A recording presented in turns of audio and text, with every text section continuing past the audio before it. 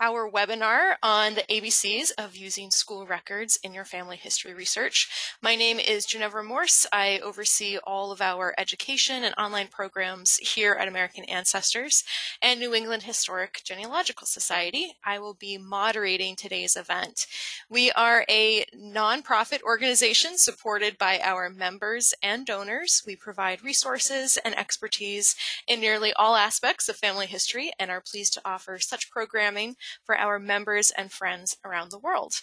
I also want to note that we are still broadcasting from our homes to your home uh, with various limitations and distractions. My dog is right behind me.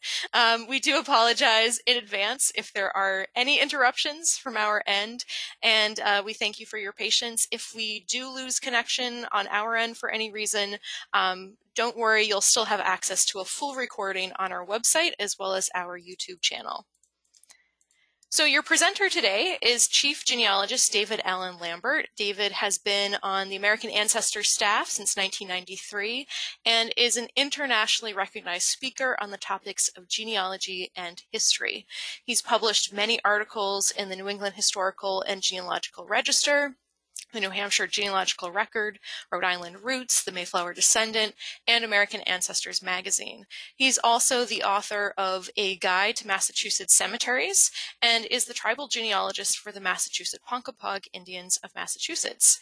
His genealogical expertise includes uh, New England and Atlantic Canadian records of the 17th through 21st century, military records, DNA research, and Native American and African American genealogical research in New England. So in today's session, uh, you're going to learn how school records can provide insight into an ancestor's daily life, help fill in a timeline, and be a useful tool in cluster research. We'll look at a variety of different types of school records, including registers, yearbooks, report cards, directories, um, where you're going to find those records, and how to use them in your own family history research. At any point during the presentation, feel free to type your question into the panel to the right of your screen. We'll address those at the end.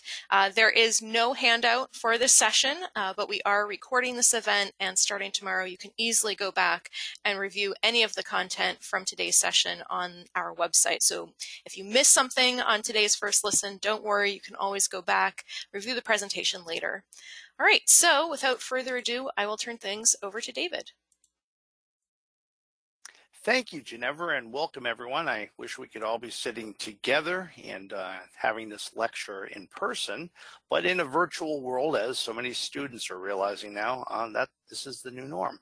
So, genealogy. You've probably been very busy with it, and I'm sure you've got plenty of names and dates in your family tree. But have you ever thought that a lot of your ancestors were kids once? I never knew when my grandmother told me that she went to high school that that was physically possible when I talked to my 84 year old grandmother. But then she showed me her photo from her graduation. The stories that we know of our own childhood and our own education as genealogists, we only yearn to find them for our grandparents and our great grandparents. I hope that in the next hour we can discuss why you want to use school records. Now, the records may provide you with vital data, residence, etc. So like maybe the date of birth of your ancestor and where they were born. You may find out even information on who their parents were because or their next of kin, their guardian. Uh, you find out the occupation and where they were living because where you lived depended on where you went to school. Now, also, it will tie you back to your ancestors in a time and place.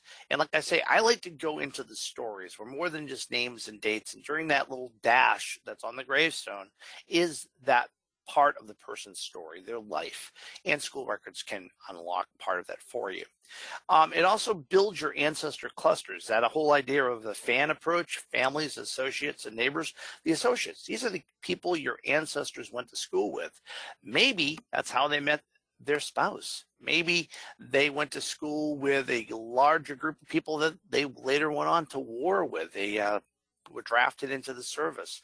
Maybe they were longtime friends. Maybe you knew Aunt Sally, who wasn't really your aunt, but it was your grandmother's best friend from the time they were in grade school. And it fills in this dash. Most of all, the stories. And let's look at what we can do with records.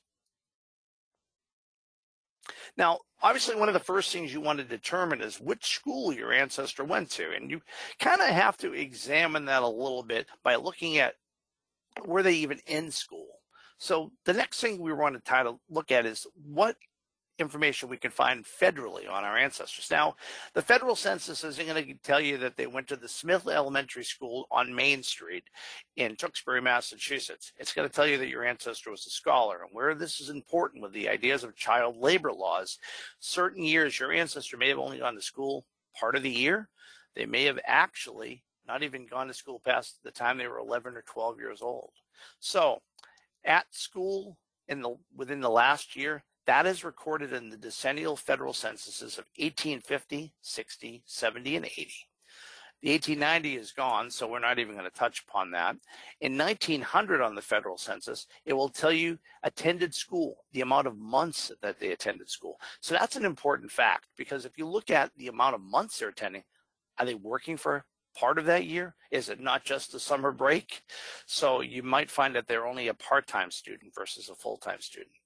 Now, 1910, 1920, 1930 asks you whether or not your relative attended school anytime since September 1st of the census year. So it means they attended, doesn't mean they didn't get kicked out midway through October, but it shows that they were enrolled at the beginning of the year.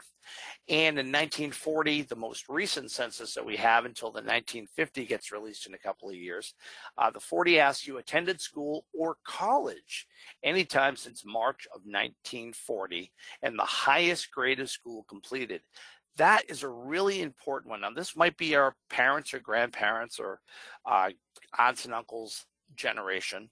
And this is going to give us a clue that, like, oh, yeah, dad did have to leave school when he was 12 to go to work during the 1930s because uh, there was a Great Depression going on.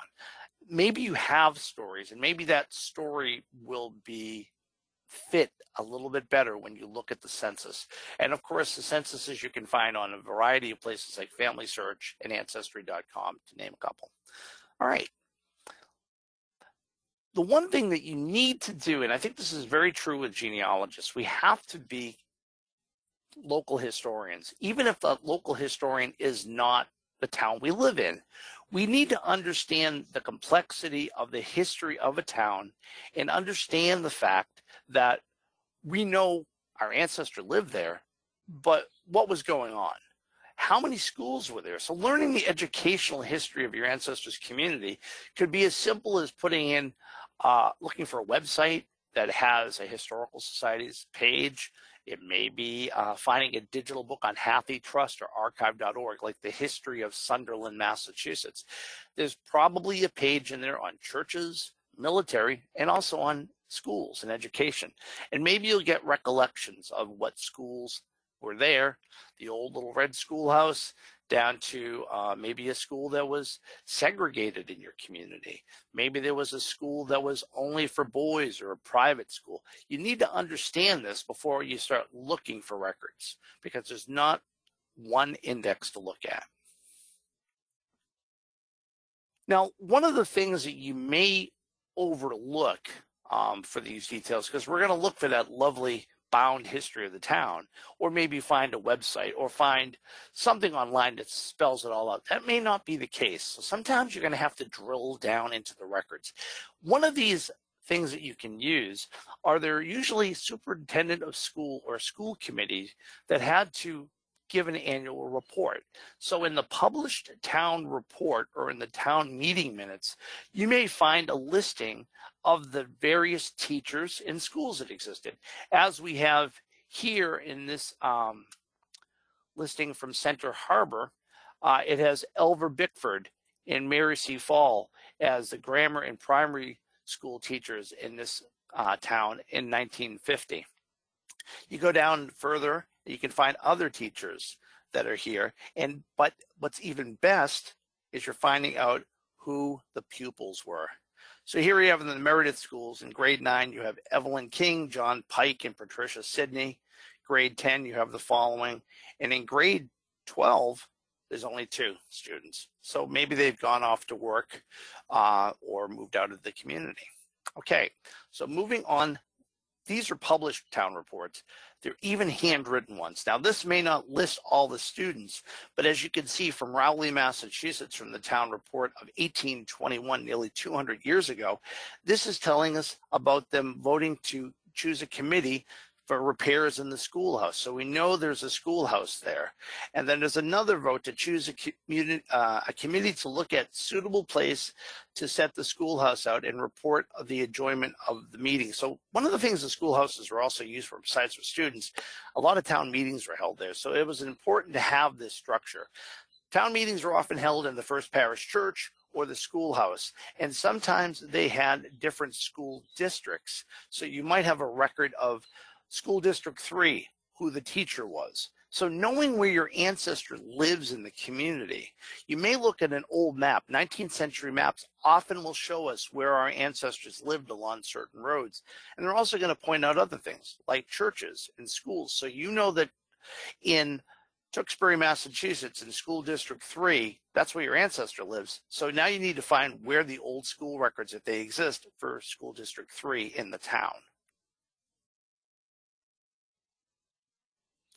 The other thing is that a lot of these books we can't get to now because of COVID, but because of the Internet Archive and archive.org, doing just a generic search on town annual town reports is very easy. Just putting in those key search terms with the name of the town itself, as that is how I found the one for Center Harbor in 1950. And you can just pan through them. But the nice thing about archive.org uh, in the Internet Archive has OCR or optical character recognized the words in the book. So you can search on the Thompson School or a teacher's name that you may have from a family uh, postcard or a diary or a recollection your grandmother told you, and maybe narrow down what school based upon the name of a teacher that you may already have. So a, a, real big tip here is to look at family heirlooms for clues on what school your ancestors attended, because you know when that trunk up in the attic that you haven't looked at for years probably has something of yours, but does it have something of your parents or grandparents or even generations before? So let's talk about some of the things that you might have. Now, early on, students were given school books. And a lot of times you, the town may have provided a school book, but a lot of times they didn't, and you had to supply your own or buy your own. So maybe you have an old 19th century school book that your ancestor carried, and they maybe wrote their name into the book itself. You remember when we were in school, we had to put our names in the book, and of course, there were names of previous classes that may have used that same textbook for years these type of things are really our genealogical record because it is telling us who was there involved in that school at that time. In the case of this student's record, he may have even done doodles in it, or may have written notes, or maybe even drawn an embarrassing picture of his not favorite teacher. so look for these type of school books in your attic. The other type of books you might find are autograph books. I know that when I was in junior high and high school, every year I had an autograph book at the end of the year to collect the signatures and the cute sayings and poems that classmates would uh, put in. It was a big thing that for me in the 70s and the 80s. And autograph albums will show up and they're family collections that we have at NEHGS in Boston of over 28 million manuscripts, we will have autograph albums. And some of them are actually from students. So maybe you have something like that. And then what's great, that fan approach, you have the associates, you have the people that your relative went to school with right there. The other thing that kids are great for doing is scrapbooking. In fact, it was all the vogue in the 1990s. It goes back till the colonial periods where people would tuck away certain things. May have just been uh, a, a, reward of merit. Somebody tucked as a page holder in a family Bible to something in the 19th century where they clipped off different pieces of their school drawings or programs from a school dance or maybe even a ticket from an event that they attended. School scrapbooks are wonderful because it's more than just a one dimensional, this is my ancestor and this is when they went to school. This is their school years. And uh, I hope that you have one of those for either yourself, parents, or grandparents. Or maybe you can start to recreate it by the research you find. School pictures are wonderful things They've been taken since the 19th century. As you can see up here, this is a little one room schoolhouse actually that still stands down the street from my home. And these are kids that are unfortunately not all identified. Then you have grade school photographs from the 1970s. Doesn't look too far off, except we're inside the gymnasium. Uh, incidentally, this little kid right here, that's me back in the 1970s as a six year old. And then, of course, yearbook photos, the dreaded yearbook photo to try to capture something that's going to be there forever. As a high school student, this was accumulation of all your years. You're going to put in details about your clubs, your sports teams you're in, your nicknames, where you're living, any variety of things. But once it's in a yearbook, it's forever. So hopefully you didn't write something you regret. But maybe you can find one for your ancestor back to the early 20th century. And some of them even are yearbooks for colleges or alumni directories that even go into the 19th century. The other thing that besides yearbooks that you might have are going to be programs from things that your family attended. Uh, how about if it's the graduation program, the ceremony itself, maybe something from a school dance or from that amazing football game that your dad was in back in the 1950s where he won uh, the game. And that program is something that he treasured and it was in his belongings. So as you start to dissect the belongings of your parents and grandparents and great grandparents, you may, of course, have less as the generations go back, but you'd be very surprised if your family were collectors like mine were. Well, I could open up my own version of my family's national archives. The other thing that you might come across when you're cleaning out those trunks or looking through closets in your family's home are the old Letterman jackets. Maybe the cheerleading outfit that your mother wore, or maybe the majorette's hat that your aunt had, and she lived with you uh, later in life and still had that up and would take it out occasionally on New Year's Eve parties just to be silly. But this is a connection. Now, keeping in mind that we don't have a lot of things for our relatives if you move or there's been a fire or something like that, remember local historical societies may have a sampling. So this jacket that I own, it belonged to someone who graduated my high school in 1955. This is his junior year jacket. I know the story. He went to the local Army Navy store, He decided didn't want it anymore. He sold it to them. I purchased it and it's going to be going to our local historical society. The family didn't want it, but it doesn't mean that their great grandchildren from these people that we donate things for may not be looking for it. How amazing would be in 50 years or 100 years for someone to say, What do you mean you have his jacket? So keep in mind that we should save things. And if we can't care for them ourselves, find archives or local historical societies, or the school itself might have a little museum or display that would be a caretaker for such things if you don't feel comfortable doing so. High school rings. I'll tell you, people with metal detectors find these all the time, and we uh, find on social media where people. I found a class ring with the initials on it, and they went to this high school. People Zoom online, look for yearbooks, try to figure out who it is to try to return it. Maybe somebody lost it on the beach back in 1962 and never saw it since. This is where these things show up. Or maybe you have your mom or your dad's high school ring, or even your grandparents. Inside, there may be an inscription or initials and what you really should do, if it is initials, you should put a little piece of paper with it to identify who it belonged to, because you know it. Maybe your grandkids won't. And lastly, you may have a diploma from a diploma from primary grade school to middle school, junior high, to high school, to colleges. Diplomas are the culmination and are loaded with genealogical data. It has the name of the student, when they graduated, where they graduated from. You have that fan approach, so you get the associates. You can find maybe the principal or the superintendent of schools or the school committee signed it as well. What a treasure it would be to have the diplomas for each one of our ancestors that completed grade school, high school, or middle school. So keep your eye out, local historical societies. Now, school records are going to be something that you may have at home. And you're thinking to yourself, why would I have my school records at home? Well, in a way, you kind of do. report cards. So here's an example of an 1877 high school report card. And to be really honest, it doesn't look a lot different than later on in generations. So here you have the student in September, October, November, all the way through the end of the school year. It's telling me how many dates they were present, absent, they were late, when they were dismissed. Uh, and then it gives me a, sort of a grade point out of 100%, how good of a student they were. Well, um, Berthy Goldthwait did a pretty good job. She has pretty good grades. And here is the signature of her parents. You know the way our parents had to sign our report cards? Well, sometimes it was on the envelope, sometimes it was on the report card itself. And at the end of the year, we got to keep it, right?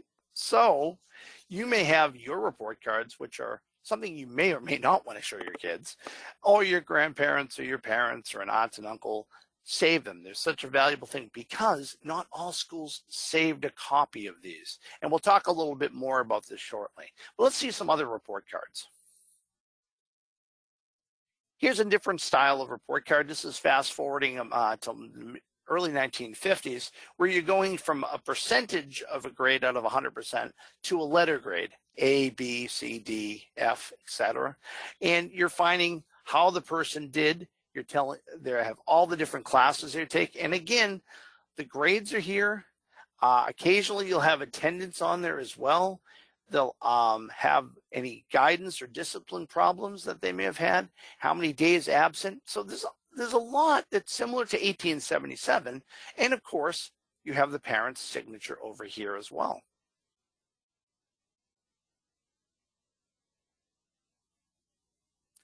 This is a report card from the 1930s for a grade school student, and that's not much different. Uh, you can find that the uh, number in the class. So based on the, the, enrollment, you know that there were 29 children in this classroom. She's in the first grade, 1935 to 36 during the Depression. She was absent uh, a number of days, times late once overall pretty good student. The teacher's name is right there. So now you have that fan approach. You can find out about the teacher. And we'll talk a little bit about researching the teacher later on. And these are where you're going to find these clues. And of course, the parents' signatures right there as well. And why not show you my report card? This is from about 100 years after the first one. This is when I was uh, in the fourth grade back in 1978, 1979. Looks like I was an overall good student, had some trouble with social studies, which is kind of funny because I later got my degree in history. So apparently I improved, I think. But this is the same elements, the same grades. Uh, for my report card, my parents' signatures aren't on here because this report card slipped into an envelope. We got to keep the report card. The envelope went home to the teacher. So it was just proof that my parents saw it and I didn't feed it to the dog. So report cards are so great. So I hope you have some of yours and you're willing to share them with your kids. You want to utilize local newspapers for graduation, honor roll, sports and other related news. And with websites like Genealogy Bank, newspapers.com, there's just so many different ways that we can search on our ancestors. So think of when they were kids, not just when they were adults. You might find out about the roll of honor or the kids that graduated from the local school as this list from 1870.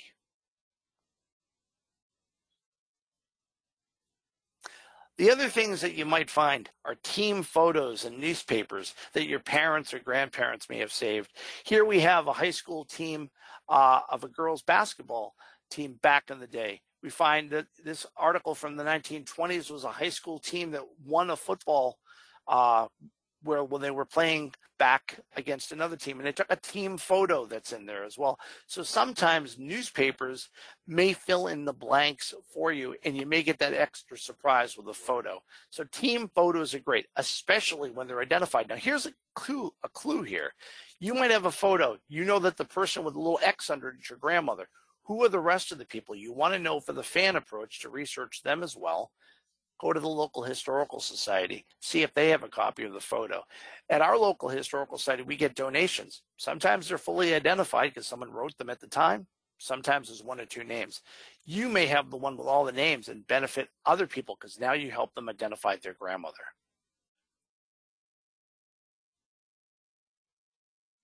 The other things are alumni directories. Now, here's one from Harvard University in 1913, and it's giving me a variety of information here on individual people.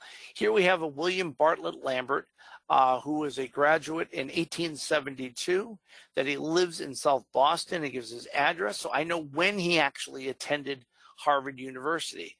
You find other people here with a variety of other degrees they received and where they're living. So this way you can do that fan approach and find out other people that went to school with your ancestor. Maybe there's a diary or a letter or they kept a scrapbook that will add more light and bring to life the story of your ancestors' school years. May it be grade school or college in the case of Harvard University here.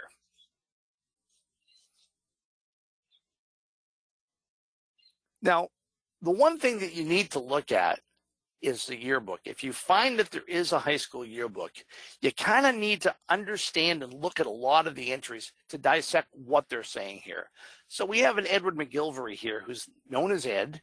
Uh, he planned on going to college. He was in the basketball team, the football team. He was a captain of the football team. He was the president of the sophomore class. He was on the ring committee, the picture committee. Now, it may not seem like a lot if you're flipping through it, but when you find your mom or dad's or your grandparents' entry, these are stories you wouldn't have heard of. How would you remember your grandfather was on the ring committee at his local high school? It's at Dash. We're finding these stories. We're bringing their school life. Now they have no voice anymore. The records speak for them. Maybe you'll find activities like home economics, field hockey. They were in cheerleading. You might find a goofy photograph of them, and it shows a human element besides the posed high school photo itself. The other thing you might find is that your ancestor, well, might have been in the academic or sports hall of fame in a local high school. And um, I'm honored to say that I'm in the academic high school hall of fame in my school. Uh, there's just a little picture with the date I graduated. Right. Oh, there we go. Right. I am right here. And, um, but it's something. And in a hundred years, maybe one of my descendants will find it and look back and say, wow, he was a goofy looking kid. but there may be records in the school itself. They may have the reason that a person was elected to the Hall of Fame and give more detail. The other thing that you want to start looking at are what's available online for your school. Now, in the case of state and county school censuses, not every state and county have them, but there are some. Family Search, great place to search.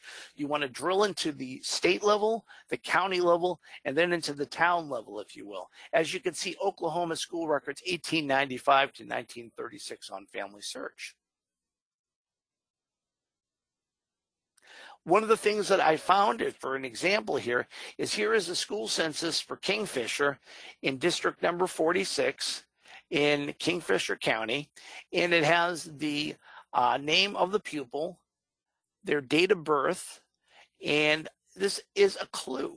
And it also tells me the parent or guardian. So I know that in the household of Rachel Hamlin here, that she has John, Minnie, and Rosa are kids, and there's their dates of birth. So they know who is being enrolled in the school, and it has to fall into play with both enrollment, school taxes, how much allocations they should have, and how many teachers they need per county in each district.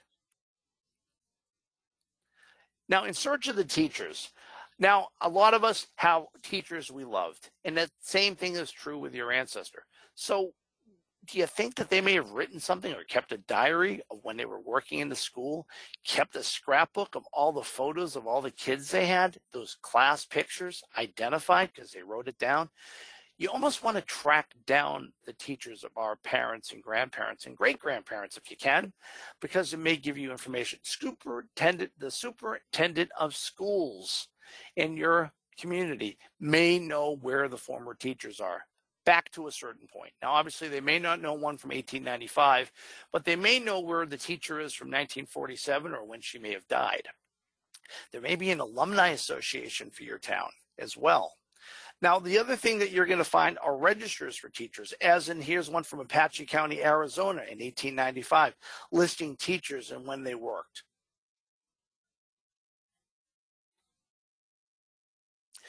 Now, we're going to talk about a couple of different specialized schools.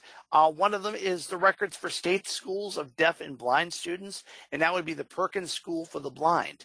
And this would include information such as the story of Helen Keller and Annie Sullivan. That's part of a major part of their collections, but they also have enrollment records of students and pupils. If your ancestor had been blind, they may have attended the Perkins School of the Blind, and there may be some records for them contact them and you can uh, find out more. The one thing that they do seem to have is some really great finding aids and the collections that they have. They also have photo collections of things that are in their archives. So maybe there was something that your ancestor had as part of their curriculum, uh, a braille book or a certain way of learning that is part of their archives. This is true with any university archives that they have elements or things that represent each one of the decades when the students were there. So that might be something to try looking at, especially in the case of the Perkins archives. One of the other things that you'll find that most archives have, as well as academic archives, you'll find a finding aid, a variety of things that they have. So there's a variety of things that are listed here, such as the census of the blind in 1840 and 1890. Uh, you'll find different concert programs. You'll find different things that exist on a particular person involved, may it be a teacher or the uh, superintendent, things that may add to the element. So you have to think outside of your ancestors as a person. Think of the time frame that they're actually in a school, such as the Perkins School for the Blind. The other thing that you can do is you can actually reach out to them and contact their archives. Now, the other thing is a lot of things are becoming digitized. So the annual reports, newsletters for schools and organizations for the deaf and blind in the United States and Canada exist. And these annual reports in cases go back to the 1880s. So you may find that, and that's just for Alabama. So you can scroll down through the archives and find out what they particularly have. And it doesn't have to be associated just with Perkins in Boston. It could be with any institution throughout the United States and Canada. Here's an example from Family Search. Uh, this is from the state of Maine, Return to the Blind, Deaf, uh, in 1864 to 1877. Now, these images are already available because there's a camera right here. So there's no key above them. So you don't need affiliate access to look at them. And these might be of use to you if you believe that you may have had a student who was deaf or blind in the 19th century in Maine. Again, looking at school records on the state level to the county level to the town level. Sometimes on the town level, they may be mixed into town records.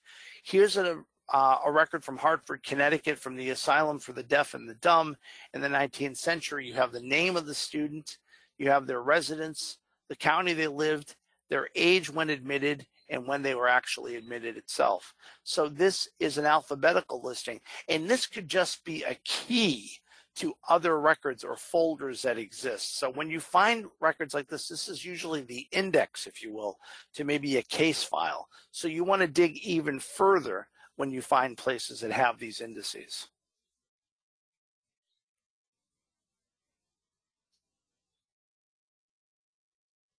Now, the one thing that you want to find also is that you're going to look that maybe you have a Native American heritage in your family. The schools for the American Indian schools, like the one in Carlisle, Pennsylvania, are just some of the schools that may have been on reservation or been a federally uh, financed institution where they would educate uh, American Indians. So let's look at some of these records. So the first place I want to go to is archives.gov. The National Archives in Washington, D.C. has administrative records relating to the American Indian schools. And this is a really great place to begin your search to see what schools may have been associated with a particular tribe. So you can find that they may be state or reservation schools, or they may have gone out all the way to Carlisle, Pennsylvania.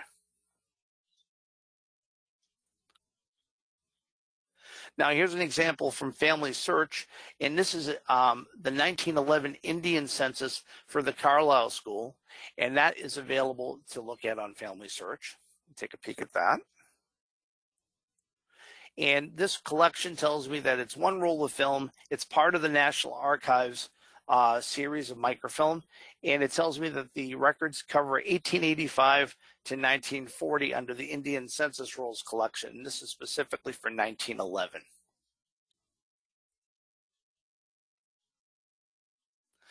Now, this is an Indian census roll from 1917 for the Cheyenne and the Arapaho Indians out of Oklahoma. And you have a rather interesting way of finding. You have both their Indian name and their English name, and you find the relationship to the person in the census itself, as well as their date of birth. So you're getting each one of the students right there listed. And this could be a way of using, say, the 1920 census and the 1910 as a census substitute in the middle, let alone uh, it's an Indian census roll, giving both the adults, the mother and father, and the children.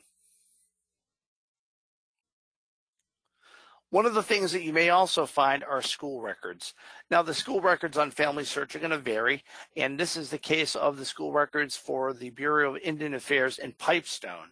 Now, and this uh, uh, is in the Kansas City, Missouri archives, uh, the branch of the National Archives out in Missouri. These school records uh, for the Pipestone Indian School enrollment uh, on Family Search give you by the grade of the person. We're giving us the date they entered school, and then it also gives you their parent or guardian. And if they left school, it tells you the reason they left. Um, so this is the listing of um, grade school students 1945 to 1946, and this collection does go a little further back. So you may find people in the 1940 census, and this just brings the family just a little bit further with their kids before the 1950 has been released. Locating the records itself. Now, this is where it gets a little bit more difficult. Now, obviously, finding the records at home, maybe they're finding that the family itself has uh, schooling at home. They're a, a homeschooled child that maybe they were taught by the mother or father. You're not going to find very much records. Are the records at the school itself. Many universities have their own archives, and many high schools are the place that the school records are kept. So if you're a homeschooled, probably you're going to need family diaries. If you're in a public school system, it could be in a variety of places, or even in historical societies if they were transferred. We're going to look at a little bit of local repositories and things that you can search online. It's as simple as using Google finding the superintendent's office in the local school district your family went to school. Now, public school records, as a rule, are not very accessible if you are not the direct person associated with the record. So essentially, it's like you have access to your children's records or your own. You're probably not going to have access to your cousin's records as much as you'd love to look at how they did in uh, biology class for their grade because they always toted that you did uh, worse than they did. Records are closed to the point that you need to be the person, either the legal heir, maybe you're the uh, executor of your mother or father's estate. You can prove that the person is deceased. They may not open the record. So there are some restrictions to these. But the first place you want to try is the superintendent of the public schools in the town or the county that your ancestor lived.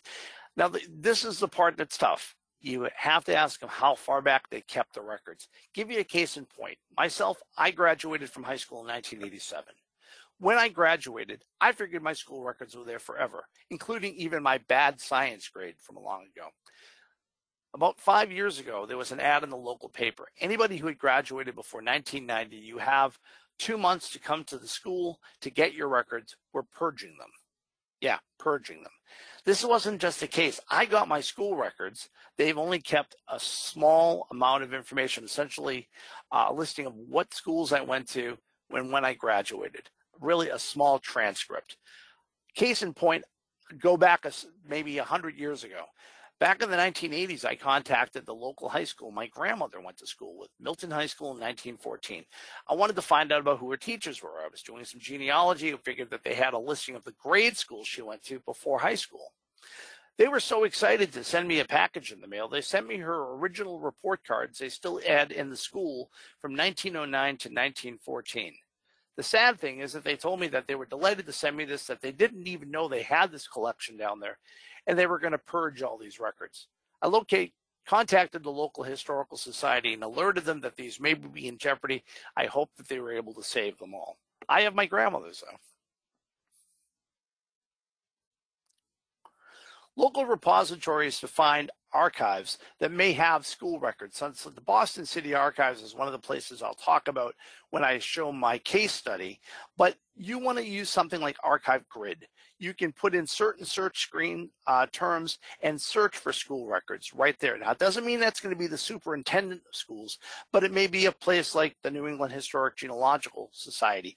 We have a private school in Boston the records for this uh, lady who kept records on her students in the 19th century. That's something you might find in a collection on ArchiveGrid. You may find that there is a county historical society near you that's gathered up records. The ArchiveGrid under the search of school records is almost 4,900 records. Here's the school records from New York State from 1803 to 1896. Uh, and this is for the town of Murray and it has these very early school districts. As I had mentioned, school districts within a town have their own records of students and the teachers that they had. So you can find things. You just need to drill down on the local level. To look at that record from the New York State Historical Documents, you may find that it's actually, there's a link and it's actually online. So you can browse through the records right from home or maybe they're in a particular archive facility that you would need to visit after COVID, or you can contact them to have a search of the records for you. When you do school record searches, the nice thing about it is it's also going to tell you when you need to get to the archive, you put in your address, how far away it is. So I know that this archives in Albany is going to be 146 miles from here. And then I know that I could do these the research on these different districts. Now, are there more? Is there a finding guide? That's what you want to find out about. And the most important thing on school records, find out if students are listed. Again, it's important to learn the uh, school history of the community or the school district your ancestor went to, but even be better if you could find details about your ancestor from these records. The other places that you can find alumni directories are online. Uh, you would have to be a member of the Yale alumni. You could sign up uh, and get an actual login. But this is a place where people reconnect.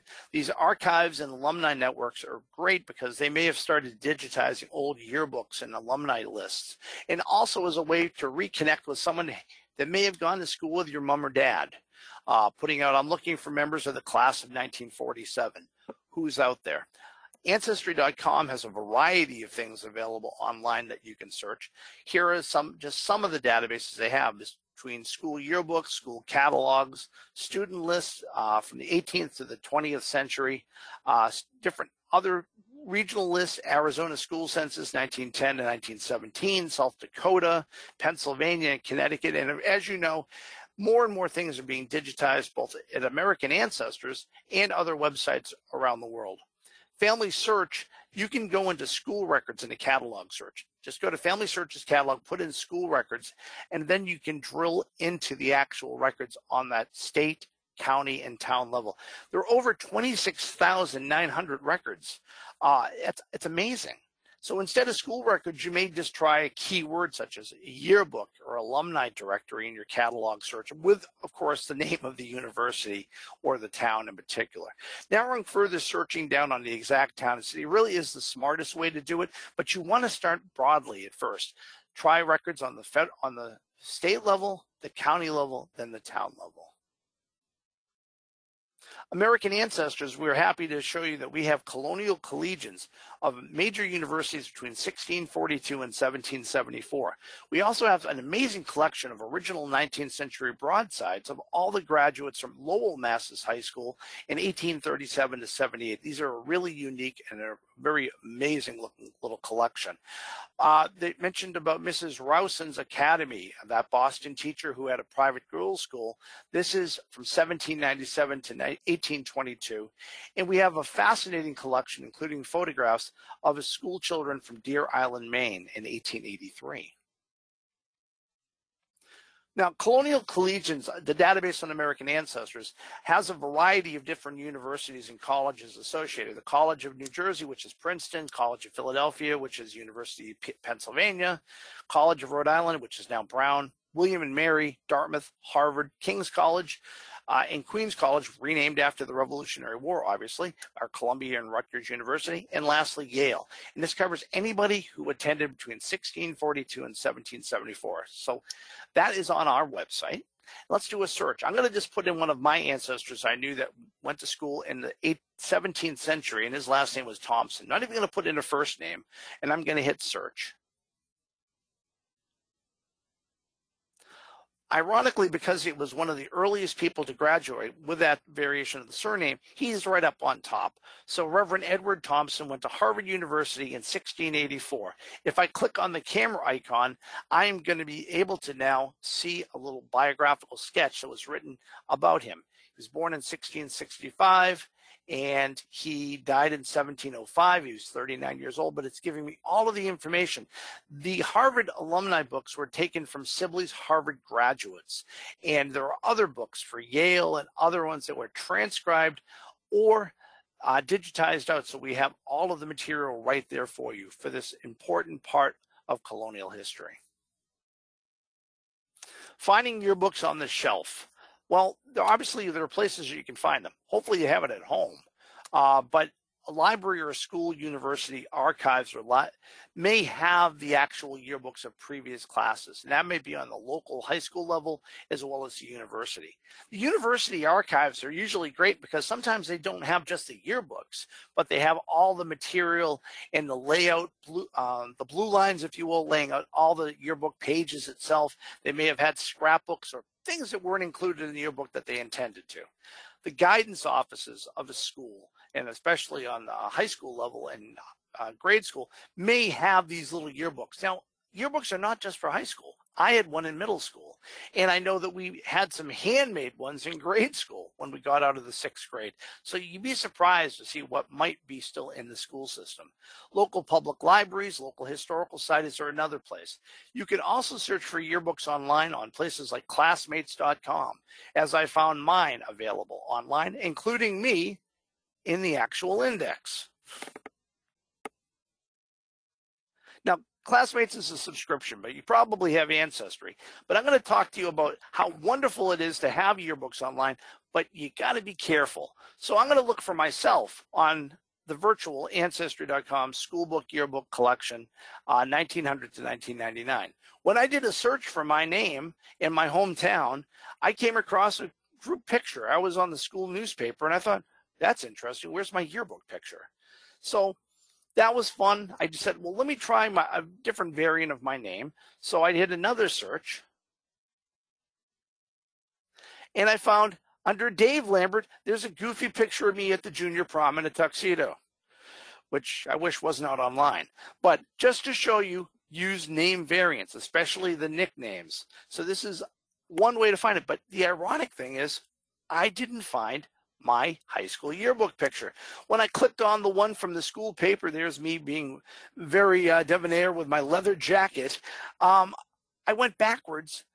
Ancestry didn't scan the pages for our class pictures. It went right to the previous class and it kind of morphed the two books together. But have no fear, my yearbook is online at archive.org. And so, why couldn't I find it when I searched on David or Dave? I have to worry about the misspelling of my name that somebody did back in 1987. Yes, my name was Dave and David, but they decided to combine it and make me Davy Allen Lambert. Oh boy. So, I had to find a name and search it the wrong way to find myself.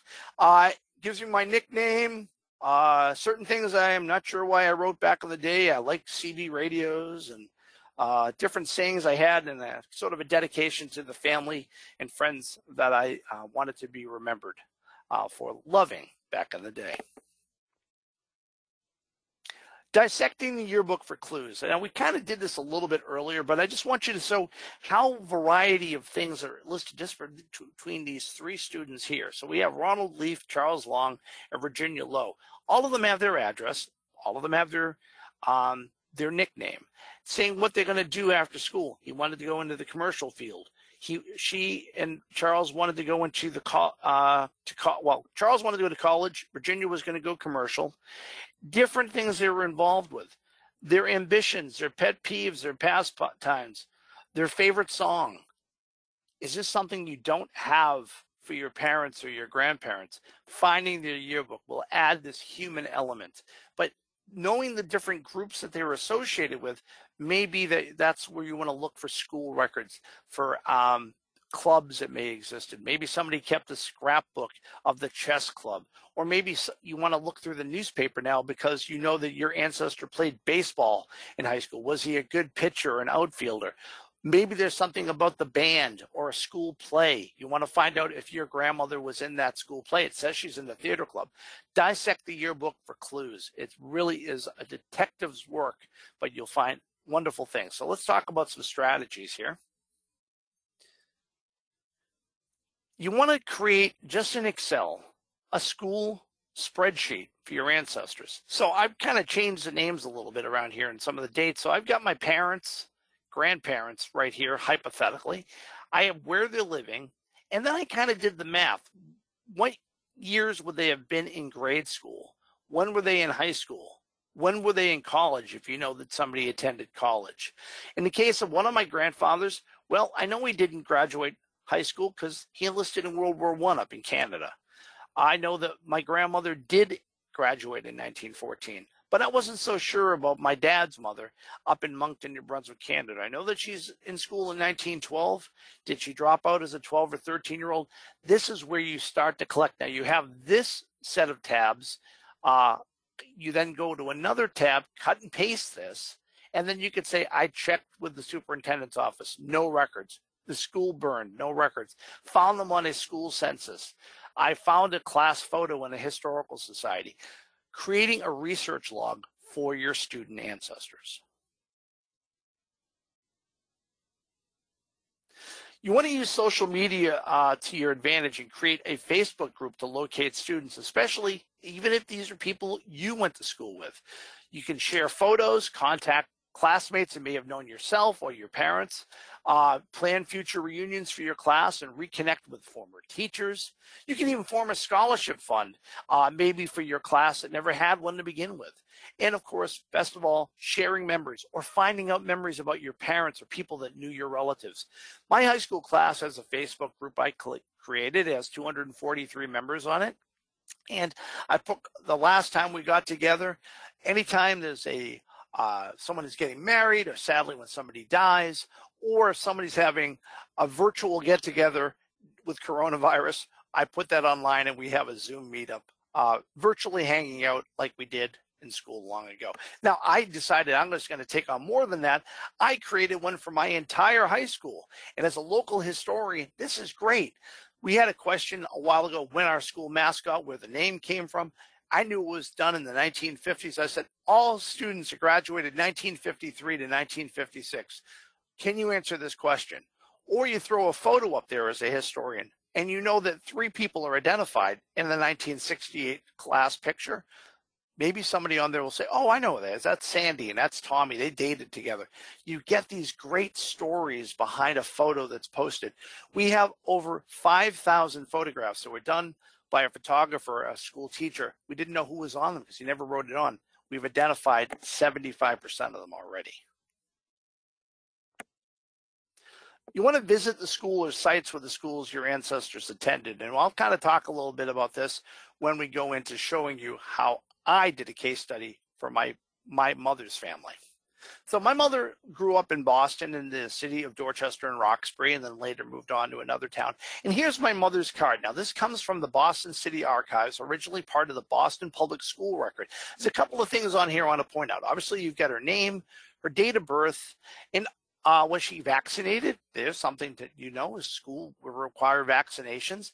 Ironically, it has her birth date wrong. She wasn't born in January. She was born in February. The name of uh, her parent or guardian, that was my grandfather. Maybe he forgot her date of birth. he was a laborer. Where they were living before they went to the Boston school system, the school she attended, the date of discharge from the Boston school system, and where they lived in Boston. So what's a little confusing is here we have the place they lived in Boston and then where they went after they left. Now, because my mother would come back from the grave and haunt me, I'm not going to show you my mother's school record, but I'll show you my aunt who probably wouldn't have cared because she was just like that. So here's my aunt Phyllis. She was born in 1932. My grandfather's a painter. Is her address. It tells me they're living at 1340 Dorchester Avenue, and they later went to 107 High Street, East Dedham when she left. On the right here, I can see the date of admission itself. So this tells me that her age when she entered in kindergarten, she was four years old. The initials of her teacher. Using the fan approach, I will contact the Boston City Archives and say, can you tell me in 1937 at the Southworth School who a teacher was with the initials MEP? So that way you can find out a little bit more.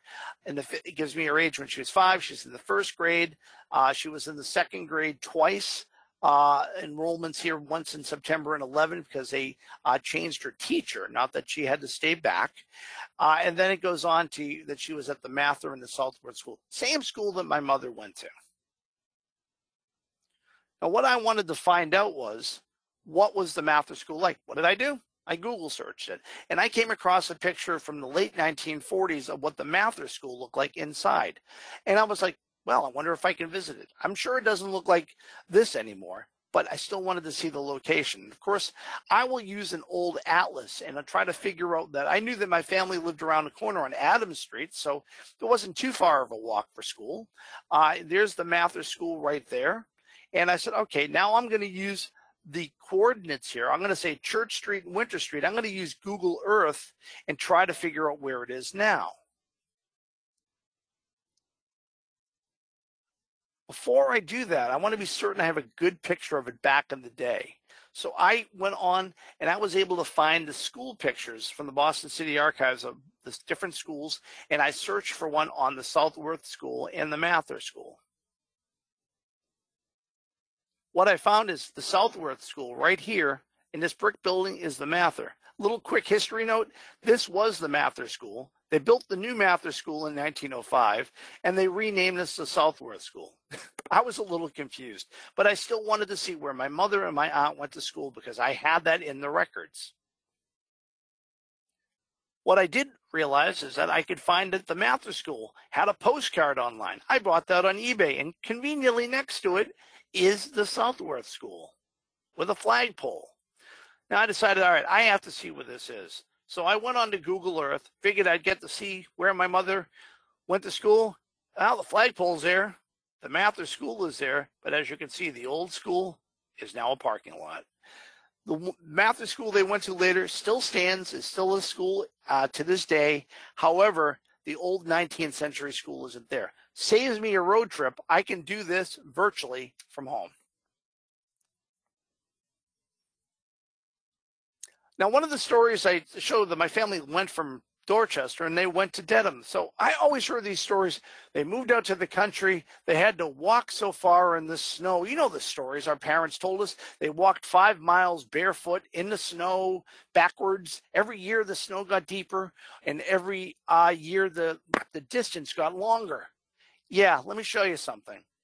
Uh, my mother said in 1940s uh, that she lived in East Dedham. That's her address, 107 High Street. Yeah. Not exactly that far. See, they lived in this house right here, and this is where my mother went to school when she was 11 years old.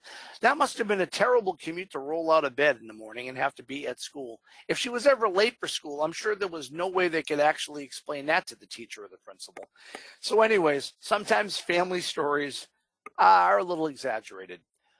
In the attic, I hope that you find something like a diploma or maybe in your family research, you have a graduation picture. This is my grandmother's graduation picture from 1914.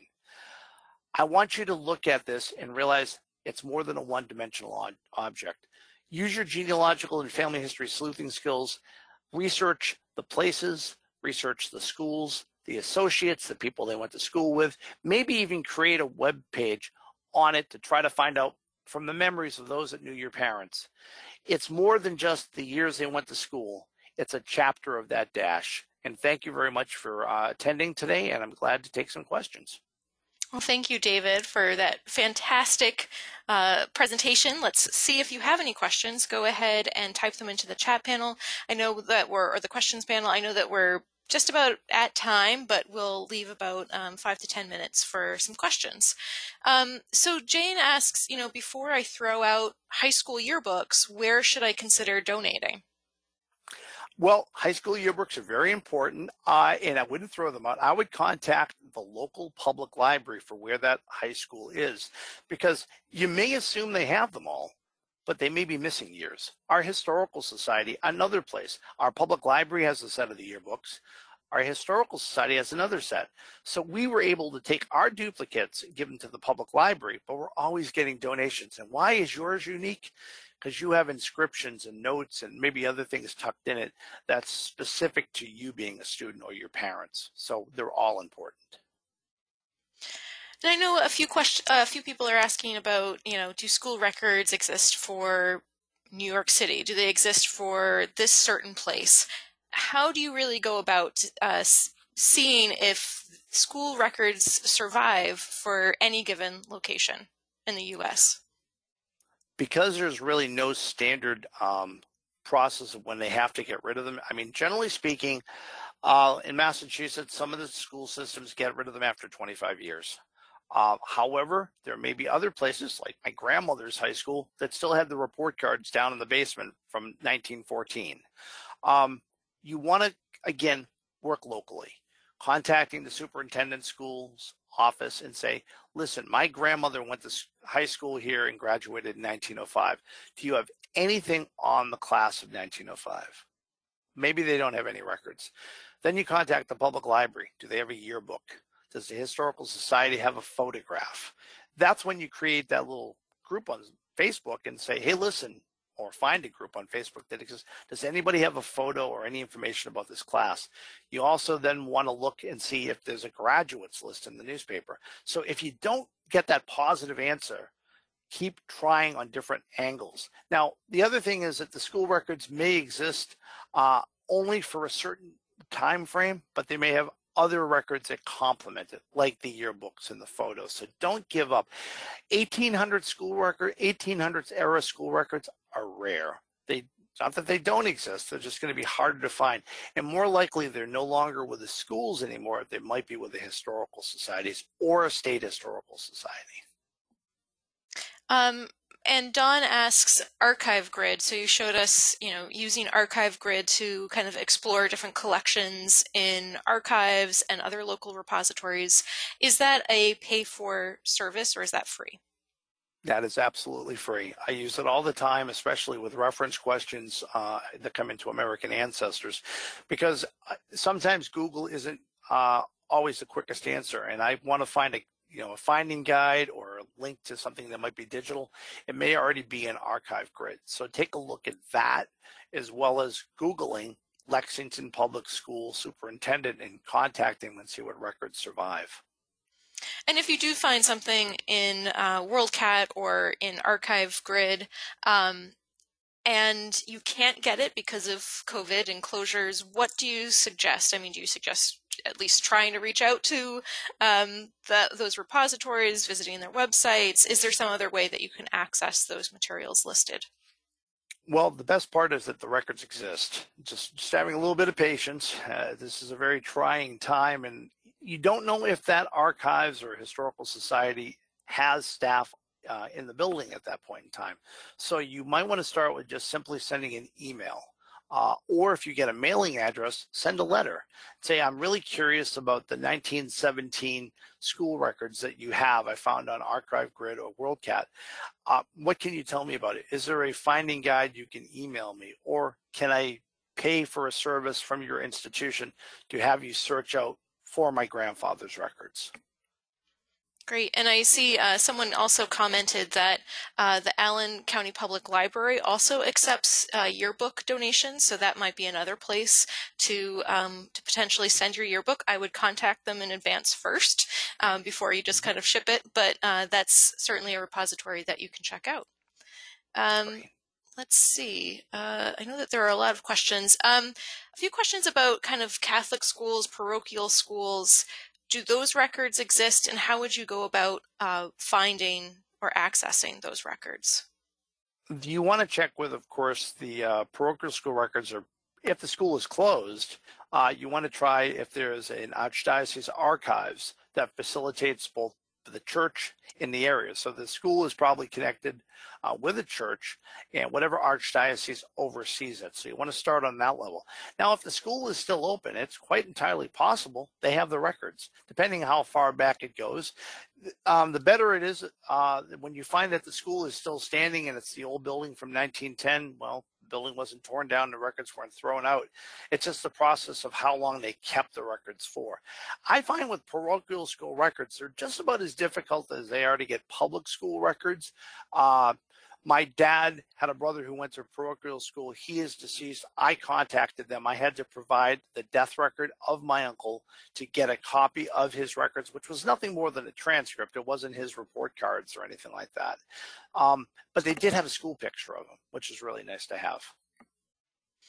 And if um, a few folks have are saying that they have teachers in their family history, um, how do you go about uh, maybe you could give some tips you know to learn where they taught if they went to a, a teacher school if they got certification um, what how do you kind of start that research looking into teachers?